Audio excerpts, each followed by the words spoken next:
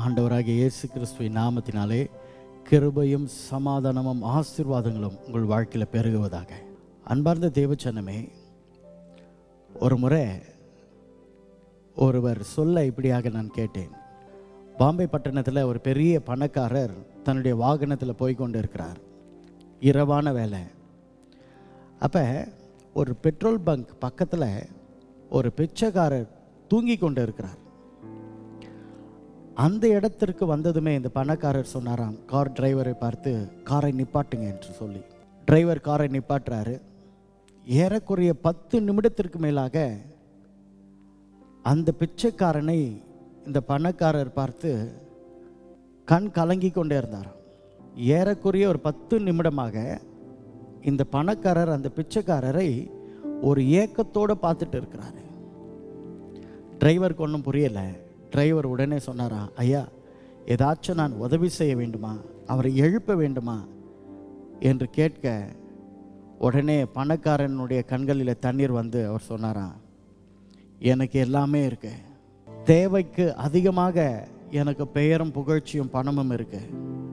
ஆனால் அவரை போல நிம்மதியாக என்னால் தூங்க முடியல. எனக்கு சரியான தூக்கம் இல்லை. ஆனால் பொழுது விடிந்த பிறகு அடுத்த வேளை சாப்பாடு என்னவென்று கூட அவருக்கு தெரியாது. ஆனால் அவர் நிம்மதியாக தூங்குகிறார். என் வாழ்க்கையில் அந்த நிம்மதி இல்லை என்று சொல்லி காரை எடுப்பா என்று கண் கலங்க அவர் போய்விட்டார். தேவச்சனங்களை கவனிங்க. உலகத்தில் பேர் புகழ் பணம் மனுஷனுக்கு உண்மையான சமாதானத்தை தருவதில்லை. அதுபோல் பெரிய பணக்காரர்களையும் பேர் புகழ் இருக்கிறவர்களை பார்த்து நம்ம கேட்டாலும் அநேகருக்கு இது போன்ற பதில் தான் வரும். சரியான தூக்கம் இல்லை மனசில் நிம்மதி இல்லை என்று சொல்லி. நாம் என்ன நினைக்கிறோம்? வாழ்க்கையில் பணக்காரராக மாறிவிட்டால் வாழ்க்கையில் நிம்மதியாக இருக்கலாம். பேரும் புகழும் கிடைச்சிட்டுச்சுன்னா வாழ்க்கையில் நிம்மதியை அடைந்து விட்டோம் என்று நாம் நினைக்கிறோம். இல்லை. சமீபத்தில் நடந்த சம்பவங்கள் நம்ம எல்லாமே அறிந்திருக்கிறோம். சில சினிமா ஆக்டருங்க. புகழ்ச்சியின் உச்சகட்டத்தில் இருக்கும் பொழுது பணம் செல்வாக்கு எல்லாமே இருக்கு. ஆனால் அவர்களுக்கு இந்த பூமியில் வாழ அந்த பர்பஸ் அந்த நோக்கத்தை அவர்கள் அறியாததுனால எல்லாமே இருக்கு. மனசில் சமாதான நிம்மதி இல்லை. அடுத்த நாள் சந்திக்க வேண்டிய ஒரு தைரியம் இல்லை. அவருடைய நோக்கம் அவர்களுக்கு விளங்காததுனால பேர் புகழ்ச்சி பணம் என்கிறதான ஒரு உச்சகட்டத்தில் இருக்கும் பொழுது தான் தற்கொலை செய்து கொண்டார்கள். எல்லாருமே அறிந்த விஷயம். ஒன்றல்ல இரண்டல்ல. உலகத்தில் பல புகழ்ச்சியும் பணமும் நிறைந்தவர்கள் கூட இப்பொழுது டென்ஷன் டேப்லெட் எடுத்துக்கொண்டு இருக்கிறார்களாம் தூக்கம் வருகிறதில்ல. அநேகர் போதைக்கு அடிமையாகி இருக்கிறார்கள் அப்படி போதையிலேயே மறித்தவர்களை கூட நம்ம உலக அளவில் அநேகரை பார்க்குறோம். பெயர் இருக்குது புகழ்ச்சி இருக்குது பணம் இருக்குது ஆனால் வாழ்க்கையில் ஒரு பர்பஸ் ஒரு நோக்கம் ஒரு மீனிங் வாழ்க்கையினுடைய ஒரு அர்த்தம் ஒரு டெஸ்டினேஷன் நம்முடைய வாழ்க்கையை எங்கே போய் முடிய போகிறது ஒன்றுமே அறியாமல் மறித்தவர்கள் வாழ்க்கையில் வேதனையும் துக்கத்தையும் அனுபவித்து கொண்டு இருக்கிறவங்க ஏழைங்கள்ல பேரும் புகழ்ச்சியும் இருக்கிறவர்கள் தான். அப்போ கவனிங்க வாழ்க்கையில் பணமும் பெயரும் புகழ்ச்சியும் மனுஷனுக்கு ஒரு சமாதானத்தையும் நிம்மதியும் தருகிறதில்ல. நான் சின்ன வயதாக இருக்கும் போது என்னுடைய தாத்தாவிடத்தில் இப்படியாக நான் கேட்டேன் தாத்தா தாத்தா நாம் உண்மையிலேயே எந்த மதத்தை சார்ந்தவர்கள்? நீங்கள் சொல்கிறீங்க பாதியில் ஆண்டவராக இயேசு கிறிஸ்துவை நாங்கள் ஏற்றுக்கொண்டோம். திருமணமான பிறகு பிள்ளைகள் பிறந்து எங்கள் வாழ்க்கையில் செய்த அற்புதத்தின் நிமித்தமாக தான் ஆண்டவரை ஏற்றுக்கொண்டோன்னு நீங்கள் சொல்கிறீங்க அதற்கு முன்னாடி நீங்கள் உங்களுடைய அப்பா உங்கள் தாத்தாலாம் எப்படி இருந்தாங்க? என்று நான் கேட்க எனக்கு சின்ன வயதிலேயே என் தாத்தா சொல்லி கொடுத்தது என்னவென்றால் நாம் எந்த மதத்தையும் சார்ந்தவர்கள் அல்ல. நமக்கென்று ஒரு மதம் கிடையாது. என்னுடைய தாத்தா சொன்னது ஆச்சரியமாக எனக்கு இருந்தது. நமக்கென்று ஒரு மதம் கிடையாது. என்னுடைய முன்னோர்கள் எல்லாம் சீக்கர்ஸ். அதாவது ஒரு சமாதானத்தை ஒரு தேவனை தேடுகிறவர்கள். அப்படி தேடுகிற போக்கில் அவங்க கண்ணுக்கு எது ஒரு நிம்மதியும் சமாதானத்தை தருகிறதாக அவர்கள் உணர்கிறார்களோ இயற்கைகள் இதுபோல் மற்ற காரியங்கள் அவைகளை தெய்வம் என்று வணங்கி வழிபடுவார்கள். இதுதான் நம்முடைய பழக்கமாக இருந்தது. ஆகவே நம்முடைய ஒரு சீக்கர் அப்படியாக நானும் ஒரு சமாதானத்தை தேடுகிற வகையில் என்னுடைய குடும்பத்தில் என்னுடைய மகள் மறிச்சு போன வாழ்க்கையில் நிம்மதி இழந்து போனோம். அப்பொழுது குடும்பத்தில் உள்ளவர் குடும்பத்தின் ஆறுதலுக்காக ஒரு ஊழியரை கொண்டு வராங்க. அந்த ஊழியர் எங்களுடைய ஆறுதலுக்காக மறிச்சு போன என்னுடைய மகள் அந்த பிணத்தின் மேலே கையை வச்சு அவர் ஜெபிக்க மறிச்சு போன அந்த குழந்தை உயிரோடு கூட எழுந்து விட்டது. அப்பொழுது தான் எங்களுடைய கண்கள் திறக்கப்பட்டது. இழந்த சமாதானத்தை நாங்கள் பெற்றுக்கொண்டோம். நாங்கள் தேடிக்கொண்டிருந்த அந்த மெய்ப்பொருள் உண்மையான தெய்வம் ஆண்டவராகிய இயேசு கிறிஸ்துவை நாங்கள் ஏற்றுக்கொண்டோம் என்று என்னுடைய தாத்தா பதில் கொடுத்தார். நன்றாக கவனிங்க வாழ்க்கையில் எல்லா மனுஷருக்கும் எல்லோருக்கும் ஒரு பர்பஸ் ஒரு தேடுதல் என்பது ஒன்று இருக்கிறது. இப்போ பணம் தான் எல்லாமே என்று சொன்னால் பணம் படைத்தவர்கள் பணமே வேண்டாம் வாழ்க்கை வேண்டாம் என்று மறித்திருக்கிறார்கள். பேரும் புகழ்ச்சி தான் வாழ்க்கையில் எல்லாவற்றுக்கும் முக்கியம் என்றால் அப்படி வாழ்க்கையை அனுபவித்தவர்கள் கூட தற்கொலையில் அவங்க வாழ்க்கை முடிந்திருக்கிறது. அப்போ கவனிங்க நம்ம வாழ்க்கையின் நோக்கம் நம்முடைய வாழ்க்கையின் அர்த்தம் நம்ம வாழ்க்கை எங்கே போய் முடிய போகிறது என்றால் என்னோட தாத்தா சொன்னது அந்த ஆண்டவராகி இயேசு கிறிஸ்துனுடைய கரத்தில் தான் உண்மையாக இருக்கிறது. அவர் சொல்லும்போது சொன்னார் நாங்கள் கிறிஸ்தவ குடும்பத்தில் பிறந்தவர்கள் அல்ல அந்த கிறிஸ்து யார் என்று எங்களுக்கு தெரியாது. உண்மையான தெய்வம் யார் என்று நாங்கள் தேட தேட அந்த தெய்வமே எங்களை தேடி வந்து வாழ்க்கையின் ஒரு அர்த்தத்தையும் ஒரு நோக்கத்தையும் எங்களுக்கு கற்றுக் கொடுத்தார் என்று. வேதத்தில் ஒரு மனுஷனை நம்ம பார்க்க போகிறோம். அவன் பெயர் தான் சகேயு. லூக்கா பத்தொன்பதாம் அதிகாரம் ஒன்றாம் வசனத்திலிருந்து பத்தாம் வசனம் வரையிலும் இவனை குறித்து நம்ம பார்க்கலாம். இவனை குறித்து வேதம் அறிமுகம் படுத்தும் பொழுதுவே இப்படியாக சொல்லுகிறது. அவன் ஆயக்காரருக்கு தலைவன். ஒரு நல்ல ஒரு பொசிஷனில் இருக்கிறான். அடுத்தது பணக்காரனாகவும் இருக்கிறான். இவன் ஆண்டவராகி இயேசு கிறிஸ்துவை குறித்து கேள்விப்பட்டு இவனுக்கு ஒரு ஆசை அவர் எப்படிப்பட்டவரோ பணம் இருக்குது பதவி இருக்குது ஆனால் இவனுக்குள்ளாக ஒரு உண்மையான தெய்வத்தை காண வேண்டும். எவ்வளவு நாள் எந்தெந்த இடத்திற்கு அவன் போனானோ நமக்கு தெரியாது. ஆனால் இந்த நேரத்தில் ஆண்டவராகி இயேசு கிறிஸ்து எப்படிப்பட்டவர் என்று அவரை தேடும்படியாக அவரை காணும்படியாக ஓடி வருகிறான். அப்பொழுதுதான் ஜனக்கூட்டங்கள் அதிகமாக இருந்ததுனால இவனால் ஆண்டவராகி இயேசு கிறிஸ்துவை பார்க்க முடியவில்லை. இரண்டாவது இவன் குள்ளனாக இருந்தான் என்று வேதம் சொல்கிறது. இரண்டு தடைகள். ஒன்று ஜனக்கூட்டம் தடை பண்ணுறாங்க இன்னொன்று இவன் மிகவும் குள்ளமாக இருக்கிறான். கவனிங்க ஆண்டவரை தேட வேண்டும் உண்மையான அந்த தெய்வத்தை அடைய வேண்டும் என்று வாஞ்சியும் தாகமாக இருக்கிற ஜனங்கள் எப்படி ஆண்டவரை தேடுவார்கள்? ஆனால் இந்த சகைவு என்ன செய்தான்? ஜனக்கூட்டம் அதிகமாக இருக்கிறது தானும் குள்ளமாக இருக்கிறேன். எப்படியாச்சும் இயேசுவை பார்க்க வேண்டும் என்ற அந்த தாகம் வாஞ்சையில் அவன் ஓடினானாம். நன்றாக கவனிங்க. கனம் பெற்றவர்கள் பெரிய பதவியில் இருக்கிறவர்கள் பெரிய பணக்காரர்கள் ஓட மாட்டாங்க உதாரணத்திற்கு யாரோ ஒருவரை பார்க்க ஒரு எம்பி ஓடினார் என்றால் அது பெரிய ஆச்சரியமாக இருக்கும். அப்படி செய்ய மாட்டாங்க. ஆனால் இவனுக்கு இவனுடைய பதவியும் பணமும் பெரியதாக தெரியவில்லை. இயேசுவை நான் காண வேண்டும் என்று ஓடினானாம். அடுத்தது ஒரு காட்டு அத்தி மரத்தின் மேலே ஏறி உட்கார்ந்தானாம். இதுவும் பெரிய ஆச்சரியம்.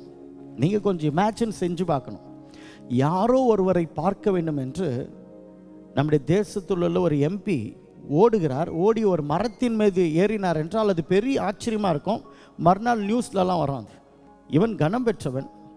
இவன் பெரிய பதவியில் இருக்கிறவன் பெரிய பணக்காரன். அதை எல்லாவற்றையும் மறந்து வாழ்க்கையில் இவைகள் எனக்கு தரக்கூடாதது.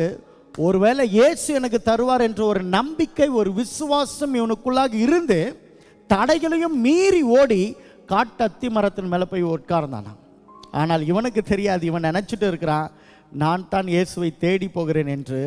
ஆனால் ஆண்டவராகி இயேசு கிறிஸ்து தான் உண்மையிலே இவனை தேடி வருகிறார்.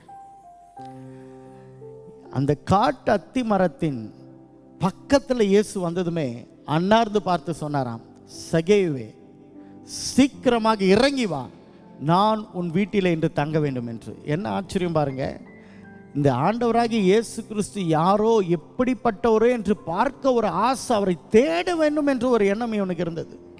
ஆனால் இவனுக்கு தெரியாது. உண்மையிலேயே ஆண்டவராகி இயேசு கிறிஸ்து தான் இவனை தேடி வருகிறார். அது மட்டும் இல்லை இவன் பெயரை சொல்லி கூப்பிட்டாராம். இதை சொல்லும் பொழுது எனக்கு அப்துல் கரீம் என்கிறதான ஒரு தேவ மனுஷனை குறித்த ஞாபகம் எனக்கு வருகிறது. கவனிங்க இந்த அப்துல் கரீம் என்பவருக்கு ஆண்டவராக இயேசு கிறிஸ்துவை குறித்து தெரியாது. இவர் ஒரு கிரிக்கெட் டீமினுடைய ஒரு கேப்டனாக இருக்கிறாரு. எப்பெல்லாம் கிரவுண்டை போய் விளையாட போகிறாரோ அப்போல்லாம் இவர் மனசில் ஒரு ஏக்கம் இருக்கும். நாம் படிக்கிற புத்தகத்தில் இயேசுவின் பெயர் எழுதப்பட்டு இருக்கிறது அவர் செய்த அற்புதங்கள் எல்லாம் சொல்லப்பட்டு இருக்கிறது அவரை குறித்து நாம் தெரிந்து கொள்ள வேண்டும் என்று இவருக்குள்ளாக ஒரு எண்ணம். பக்கத்தில் ஒரு லைப்ரரி இருக்குது அவர்கள் வேதத்தை படிக்கக்கூடாது வேதத்தை படிக்க வீட்டில் ஒரு அனுமதி இல்லை. அவர் சொன்னது இதை. ஆனால் இவருக்குள்ளாக ஒரு ஏக்கம் நம்ம புத்தகத்தை காட்டிலும் அந்த வேதத்தில் அவரை குறித்து இன்னும் அதிகமாக எழுதப்பட்டு இருக்கிறது நான் அவரை குறித்து படிக்க வேண்டும் என்று இவர் லைப்ரரிக்கு போகிறார். வேதத்தை முதல் முறை தொடுகிறார். உள்ளத்தில் ஒரு பெரிய பயம். யாராச்சும் பார்த்துருவாங்களா என்று எடுத்தார் வேதத்தை. எடுத்து ஒரு ஜென்ரலாக இப்படியாக ஜெபித்தாராம். கடவுளே நான் ஒரு ஹோப்பன் ஆர்ட்டோட கூட இந்த பைபிளை நான் படிக்கிறேன். நீங்கள் என்னோடு கூட பேசுங்க என்று வேதத்தை படிக்க படிக்க அந்த ஆண்டவராகி இயேசு கிறிஸ்து அந்த வேதத்தின் மூலமாக இவரோடு கூட பேச ஒரு வாரத்துக்குள்ளாக ஆண்டவராக இயேசு கிறிஸ்துவை ஏற்றுக்கொண்டு இன்றைக்கு ஆண்டவருக்காக ஊழியம் செய்து கொண்டு இருக்கிறார் கவனிங்க ஆண்டவராகி இயேசு கிறிஸ்துவை தேட வேண்டும் என்ற எண்ணம் இந்த சகேவுக்கு இருந்ததுனால ஆண்டவரை இவனை தேடி வந்து இவனை வாப்பா இறங்கி சீக்கிரமா வா இன்று நான் உன் வீட்டில் தங்க வேண்டும் என்று ஆண்டவர் கூப்பிட்டார். ஆண்டவரிடத்தில் பேச வேண்டும் அவர் தன்னுடைய வீட்டிற்கு வர வேண்டும் என்று பெரிய தலைவர்கள் அரசியல் தலைவர்கள் பெரிய பெரிய பணக்காரர்கள் நூற்றுக்கு அதிபதிகள் வெயிட் பண்ணிட்டு இருந்தாங்க இன்விடேஷன் கொடுத்தாங்க. ஆனால் அந்த இடத்திற்கெல்லாம் ஆண்டவர் போகலை. ஆனால் இவனுடைய இருதயத்தை பார்த்த ஆண்டவர் உடனடியாக நான் உன் வீட்டில் தங்க வேண்டும் இறங்கி வா என்று அவசரமாக கூப்பிடுகிறார். தேவச்சனமே நன்றாக கவனிங்க நீங்கள் ஏழையாக இருக்கலாம் பணக்காரராக இருக்கலாம் வியாதிகளும் நெருக்கங்களும் போராட்டங்களும் உங்கள் வாழ்க்கையில் பெருக்கெடுத்து நிம்மதியை இழந்து போன ஒரு நிலையில் காணப்படலாம். ஆனால் உங்களுக்குள்ளாக அந்த இயேசுவை பார்க்க வேண்டும். இந்த இயேசு என் வாழ்க்கையில் ஒரு உதவியை செய்ய வேண்டும்.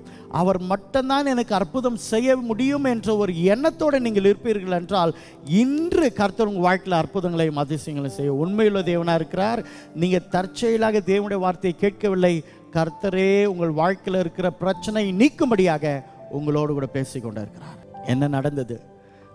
சகேயு என்னப்பட்டவன் வேகமாக இறங்கி வருகிறான். வந்ததுமே ஆண்டவர் மகிழ்ச்சியோடு அவனை கூட்டிக் கொண்டு அவனுடைய வீட்டுக்கு போகிறார். என்ன ஆச்சரியம்?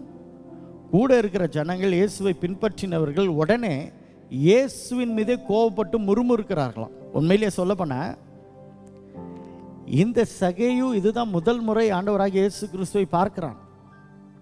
ஆனால் இந்த ஜனங்கள் இயேசுவை பின்பற்றின ஜனங்கள் இயேசு கூடவே வந்த ஜனங்கள் உடனே இயேசுவை முறுமுறுக்க ஆரம்பிச்சிட்டாங்களாம். அதுதான் பொறாமை. நீங்கள் எப்பொழுது ஆண்டவராக இயேசு கிறிஸ்துவை ஏற்றுக்கொண்டீங்களோ எப்பொழுது வேதத்தை படிக்க ஆரம்பிச்சிங்களோ என்றைக்கு தேவனுடைய ஆலயத்துக்கு போக ஆரம்பிச்சிங்களோ அன்றைக்கே சத்துருக்கள் எழும்பி விடுவார்கள். என்ன? இப்பொழுது புதுசாக நீ ஆலயத்துக்கு போயிட்ட. ரொம்ப தான் பண்ணுற நாங்கள்லாம் அப்பத்திலிருந்தே கிறிஸ்தவர்கள் என்று சொல்வார்கள். ஏதோ ஒரு விதத்தில் உங்களை காயப்படுத்தி வேதனைப்படுத்தி முறுமுறுத்து உங்களை எப்பொழுதும் குறை சொல்லிட்டே இருப்பாங்க. கவலைப்படாதீங்க. கர்த்தர் உங்களோடு கூட இருக்கிறார். கர்த்தர் உங்களோடு கூட இருக்கிறார். எப்பொழுதும் தேவனை உண்மையாக தேடுகிற பிள்ளைகள் மற்றவர்களால் உபத்திரவப்படுவார்கள். கவலைப்படாதீங்க. நாம் எப்பொழுதும் தீமைக்கு தீமை செய்யக்கூடாது. தீமையை நன்மையால் வெல்ல வேண்டும். இப்பொழுது இந்த சகைவு இதை பார்க்கிறான். ஜனங்க சொல்கிறதெல்லாம் பார்க்கிறான். உடனே அவன் நின்று ஆண்டவராகி இயேசு கிறிஸ்துவிடத்தில் ஒரு வார்த்தையை சொல்கிறான். ஆண்டவரே யார்கிட்ட ஆச்சோ நான் அநியாயமாக நான் வாங்கியிருந்தா நான்கு மடங்கு திருப்பி தருகிறேன். மோசனுடைய கட்டளை அதுதான். நான் அப்படியே நான் செய்கிறேன். அடுத்தது என்னுடைய சொத்தில் பாதியை ஏழைகளுக்கு கொடுத்து விடுகிறேன். கவனிங்க இவனை குறித்து ஜனங்கள் ஏன் முறுமுறுத்தார்கள்? ஏன் குறை சொன்னாங்க? ஏன் இவனை பாவி என்று முத்திரை குத்தி இருந்தார்கள் என்றால் இவன் ஒரு யூதன் ஆனால் இவன் வேலை செய்வதோ ரோமர்களுக்கு. அது மட்டுமல்ல யூதர்களிடத்திலே அதிகமாக வரியை வசூலிப்பான். ஆகவே இவனை ஒரு துரோகியாக நினைத்து கொண்டிருந்தார்கள். இவன் ஒருவேளை அப்படி சம்பாதித்தானா? அநியாயமாக சம்பாதிக்கவில்லையா? நமக்கு தெரியாது? ஆனால் ஜனங்கள் இவன் மேலே அப்படிதான் ஒரு எண்ணத்தை வைத்து கொண்டிருந்தார்கள். இங்கே கவனிங்க இவன் ஆண்டவரை பார்த்து ஒரு ஸ்டேட்மெண்ட் சொல்கிறான் ஆண்டவரை ஒருவேளை நான் அநியாயமாக அப்படி வாங்கியிருந்தால் நான்கு மடங்கு தருகிறேன். அடுத்தது ஏழைகளுக்கு நான் பாதி என்னுடைய சொத்தை கொடுத்து விடுகிறேன். கவனிங்க ஆண்டவராகி இயேசு கிறிஸ்து வாழ்க்கையில் வந்ததுமே இந்த சகையு இதற்கு முன்னாடி நினைத்து கொண்டிருந்ததெல்லாம் பணம் பதவி பணம் பதவி பணம் பதவி அதை ஆண்டவராக இயேசு கிறிஸ்துக்கு விட்டு விடுகிறான் வாழ்க்கையில் உண்மையான பர்பஸ் உண்மையான மீனிங் உண்மையான டெஸ்டினேஷன் வாழ்க்கையின் நோக்கத்தையும் அர்த்தத்தையும் வாழ்க்கை எங்கே தான் நமக்கு போய் முடியும் என்கிறதான ஒரு மகிழ்ச்சி உனக்குள்ளாக வந்து விட்டது ஆகவே தான் நாம் இந்த பணத்தை சேர்த்தோம் பாருங்க. இது கொடுக்காத ஒரு சந்தோஷம். இந்த பணம் பதவி கொடுக்காத ஒரு மகிழ்ச்சி. எனக்குள்ளாக இப்பொழுது இருக்கிறது என் இயேசு என்னோடு கூட இருக்கிறார் என்று சொல்லி ஒரு ஓப்பன் ஸ்டேட்மெண்ட் ஏழைகளுக்கு பாதி கொடுக்கிறேன். அநியாயமாக வாங்கியிருந்தால் அதை நான்கு மடங்கு திருப்பி தருகிறேன் என்று சொல்ல ஆண்டவர் மிகவும் மகிழ்ச்சியோடு ஒரு வார்த்தையை சொல்கிறார். இவனும் ஆபிரகாமின் சந்ததியாக இருக்கிறானே. இந்த வீட்டிற்கு ரட்சிப்பு வந்தது. இழந்து போனதை தேடவும் ரட்சிக்குமே மனுஷகுமாரன் இந்த உலகத்தில் வந்தார் என்று. தேவச்சனமே மனுஷரால் உடைக்கப்பட்டு அல்லது ஏதோ ஒரு காரியத்தை நீங்கள் தேடி தேடி தேடி தேடினது கிடைக்காம வாழ்க்கையில் நொந்து போய் வேதனைப்பட்டு கொண்டு இருக்கலாம். அல்லது நீங்கள் விரும்பினது கிடைத்த பிறகு வாழ்க்கை நிம்மதி இழந்து போயிருக்கலாம். கிடைக்கிறதுக்கு முன்னாடியே நிம்மதி இல்லை. கிடைத்த பிறகும் ஒரு சந்தோஷமும் இல்லை என்று வாழ்க்கையில் பலவிதமான நெருக்கத்தில் போராட்டத்தில் பிரச்சனையில் நீங்கள் போய் கொண்டு இருக்கலாம். நம்முடைய வாழ்க்கையினுடைய ஒரு நோக்கம் ஆண்டவராக இயேசு கிறிஸ்து தான். பணம் கொடுக்க முடியாத சந்தோஷம் பதவி கொடுக்க முடியாத ஒரு சந்தோஷத்தை இந்த சகேவுக்கு ஆண்டவராகிய இயேசு கிறிஸ்து கொடுத்தார்.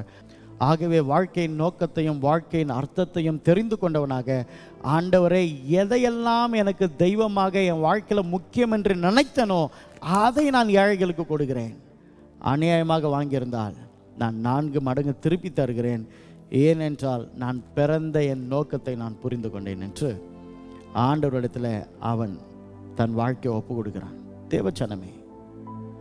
உங்கள் வாழ்க்கையில் உடைந்து போனவர்களாக நிம்மதி அற்றவர்களாக வாழ்க்கையில் ஒரு நம்பிக்கை அற்றவர்களாக அடுத்தது மற்றவர்களால் மிகவும் ஏளனமாக கேவலமாக நடத்தப்படுகிற ஒரு நிலையில் நீங்கள் தள்ளப்பட்டு இருக்கலாம். ஒரு தனிமை. கொஞ்சம் யோசித்து பாருங்கள் அநேகர் இந்த சகையை பார்த்து முறுமுறுத்தார்களாம். உள்ளே எப்படி உடைக்கப்பட்டு இருக்கான் அவனுக்கு? ஆனால் அவனோடு கூட தான் ஆண்டவராக இயேசு கிறிஸ்து நின்றார். உள்ளம் உடைக்கப்பட்ட உங்களோடு கூட ஆண்டவராக இயேசு கிறிஸ்து இருக்கிறார் நம்ம கூடவே மனுஷர் இருப்பாங்க. ஆனால் நமக்கு விரோதமாக அநேக தவறுகளை செய்து விடுவார்கள். துரோகங்களை செய்து விடுவார்கள். வேதனைகளும் நெருக்கங்களும் போராட்டங்களும் நம்ம வாழ்க்கையில் சொல்ல முடியாத நிலையில் தள்ளப்படுவோம். இருந்தாலும் இயேசு அந்த சூழ்நிலையிலையும் நம்மோடு கூட இருக்கிறார். உலகமே எழும்பி சகைவு கெட்டவன். அவன் ஆயக்காரன். அவன் திருடன். அவன் மோசமானவன் என்று சொல்ல இவன் காதுகளிலே அதெல்லாம் கேட்குறான். அந்த சூழ்நிலையில் கூட இயேசு அந்த ஜனங்களோடு கூட நிற்கல. சகையோடு கூட கர்த்தர் நிற்கிறார். அதே தேவன் உங்களை தேடி வந்திருக்கிறார். இந்த வேலையில் என்னென்ன இருக்கும் என்ன பிரச்சனை? என்ன வியாதி? வியாதி நிமித்தம் ஒரு பக்கம் வேதனை. வியாதி நிமித்தம் இன்னொரு பக்கம் அவமானம். வியாதி நிமித்தமாக மனுஷரை நீங்கள் இப்பொழுது புரிந்து கொண்டீர்கள். நம்ம ஆரோக்கியமாக பணம் படைத்தவர்களாக இருக்கும்போது நம்ம தேடி வருவாங்க. என்றைக்கு நம்ம வாழ்க்கையில் இவைகள் இல்லாமல் போச்சோ அன்றைக்கு மனுஷர்கள் முகத்தை திருப்பி கொண்டு நம்மை விட்டு ஓடிப்போவார்கள் எல்லா இடத்துலையும் நெருக்கப்பட்டு இருக்கிறீர்களா இயேசு உங்களோடு கூட நிற்கிறார். வியாதிப்பட்டவங்களோடு கூட இயேசு நிற்கிறார். வேதனை அடைந்தவங்களோடு கூட இயேசு நிற்கிறார். ஏமாற்றப்பட்ட உங்களோடு கூட இயேசு நிற்கிறார். தோல்வி அடைந்த உங்களோடு கூட இயேசு நிற்கிறார். அவமானப்படுத்தப்பட்ட உங்களோடு கூட இயேசு நிற்கிறார். வாழ்க்கையில் படிப்பில் தோல்வி வேலையில் தோல்வி வாழ்க்கையில் தோல்வி எல்லாவற்றிலும் தோல்வி. சாமி நான் ஏன் பிறந்தேன் என்று கேட்கிறீர்களா? இயேசு உங்களோடு கூட நிற்கிறார். உண்மையிலேயே சகேயு ஆண்டவராகிய இயேசு கிறிஸ்துவை தேடி போல அதற்கு முன்னாடியே இயேசு இந்த சகேவை தேடி போனார். உண்மையிலேயே சகையு ஆண்டவராகிய இயேசு கிறிஸ்துவை தேடி போலாங்க. இந்த இயேசு தான் சகேயுவை தேடி வந்தார். அந்த தேவன் உங்கள் பக்கத்தில் நிற்கிறார். கண்ணில் மூடி உங்கள் இருதயத்தில் இருக்கிற அனைத்தையும் அவருக்கு சொல்லுங்க. இந்த ஜெபத்திலேயே கர்த்தர் உங்கள் வாழ்க்கையில் பெரிய ஒரு அற்புதங்களை செய்ய போகிறார். நல்ல தகப்பனே உள்ளம் உடைக்கப்பட்டவர்களாக. வாழ்க்கையில ஒரு நோக்கமும் ஒரு அர்த்தமும் தெரியாமல் எதை எதையெல்லாம் தேடி போய் அடைந்தோமோ ஒருவேளை கிடைக்காததுனால வேதனை இன்னொரு பக்கம் கிடைத்ததுனால வேதனை. பணம் இருந்தும் நிம்மதி இல்லை பெயர் புகழ் இருந்தும் நிம்மதி இல்லை வாழ்க்கையில எல்லாம் இருந்தும் நிம்மதி இல்லை என்று வேதனைப்பட்டு கொண்டிருக்கிற ஒவ்வொரு பிள்ளைகளுக்கும் வாழ்க்கையின் அர்த்தம் நீங்க தான் சுவாமி. வாழ்க்கையின் நோக்கம் நீங்க தான் சகேயு அதை புரிந்து கொண்டான். என்னோடு கூட ஜபத்தில் இணைந்து இருக்கிற ஒவ்வொரு பிள்ளையோட வாழ்க்கையில இருக்கிற வியாதிகள் நீங்கட்டும் ஆண்டவரே. வியாதி நிமித்தமாக மரண வேதனை மரண பயத்தில் இருக்கிற பிள்ளைகளோடு கூட நீர் இருக்கிறீர். கணவனால கைவிடப்பட்ட ஒரு நிலைமை. பிள்ளைகளை வைத்து கொண்டு இருக்கிறேனே நான் என்ன செய்வேன் என்று கலங்கி இருக்கிற ஒவ்வொரு பெண்கள் பக்கத்தில் நீங்க நிக்கிறீங்க சுவாமி. கணவனால கைவிடப்பட்ட நிலைமை. என் பிள்ளைகளை நான் எப்படி கரை சேர்ப்பேன் எப்படி வளர்ப்பேன் என்று கலங்கி இருக்கிற ஒவ்வொரு சகோதரிகள் மத்தியில் நீங்க இருக்கிறீங்க சுவாமி நீங்க சொல்றீங்க உலகமே உன்னை வெறுத்தால நான் உன்னை வெறுக்க மாட்டேன் என் பிள்ளை என்று. பிள்ளைகளால கைவிடப்பட்ட ஒவ்வொரு பெற்றோர்கள் மத்தியில் நீங்க இருக்கீங்க. மனைவியால கைவிடப்பட்ட ஒவ்வொரு கணவனோடு கூட நீங்க இருக்கீங்க. உலகமே சகையுயை எழும்பி பொல்லாதவன் கெட்டவன் திருடன் என்று சொல்ல நீர் சகையோடு கூட நின்றீங்கப்பா. அவன் வீட்டுக்கு ரட்சிப்பு கொடுத்தீங்க. வாழ்க்கையில் ஒரு மாற்றத்தை கொடுத்தீங்க. அதே ஒரு அற்புதத்தை பிள்ளைகளுடைய வாழ்க்கையில் தாங்க சுவாமி வாழ்க்கை துணை இல்லாத பிள்ளைகளுக்கு நல்ல வாழ்க்கை துணை. வீடு வாசல் இல்லாத பிள்ளைகளுக்கு நல்ல ஒரு வீடு வாசல். வீடை கற்றியும் நிம்மதி இல்லையே என்று வேதனைப்படுகிற பிள்ளைகளுக்கு உங்களுடைய சமாதானம் சுவாமி ஆரோக்கியம். பிள்ளை பாக்கியம் இல்லாத பிள்ளைகளுடைய வாழ்க்கையில் ஒரு அற்புதங்கள் நடக்கட்டும். வாலிபர்கள் உமக்காக பிரகாசிக்க தானியலை போல யோசேப்பு போல தேவனுக்காக பிரகாசிக்க உதவிச்சிங்க. படிப்பில் ஒரு உயர்வை தாங்க. என்னென்ன தேவைகளோட ஏக்கத்தோட வியாபாரத்தில் வேலையில் படிப்பில் குடும்ப வாழ்க்கையில் தேவனுடைய ஆசீர்வாதம் வேண்டும் என்று கண்ணீரோடு கூட ஜெபித்து கொண்டு இருக்கிற ஒவ்வொரு பிள்ளைகளுடைய வாழ்க்கையில் உடைய ஆசீர்வாதமும் உடைய நன்மையும் கிருமைகளும் பெருக செய்யுங்க. தான் குள்ளமாக இருந்து கூட ஜனக்கூட்டம் இருந்து கூட இயேசுவை தேட வேண்டும் என்று ஓடி மரத்தின் மேலே ஏறின அந்த சகைவு போல தேவனை தேடுகிற வாஞ்சியம் தாகத்தையும் எங்களுக்குள்ளாக தாங்க சுவாமி. சகைவு பெற்ற ஆசீர்வாதம் ஆபிரகாமின் ஆசிர்வாதம் சகைவு பெற்ற அந்த ரட்சிப்பு எங்களுக்கும் எங்கள் குடும்பத்திற்கும் நீர் கட்டளை கொடுக்கிறபடியால் நன்றி. உங்க கோடி நன்றி செலுத்துகிறோம். இயேசுவின் மூலம் பிதாவே ஆமே மே காட் பிளஸ் யூ கர்த்தர் உங்களையும் உங்கள் குடும்பத்தையும் ஆசீர்வதிப்பாராக. கர்த்தர் உங்களை வாழாக்காமல் தலையாக்குவார். எல்லாவற்றிலும் உங்களை கீழாக்காமல் கர்த்தர் மேலாக்குவாராக.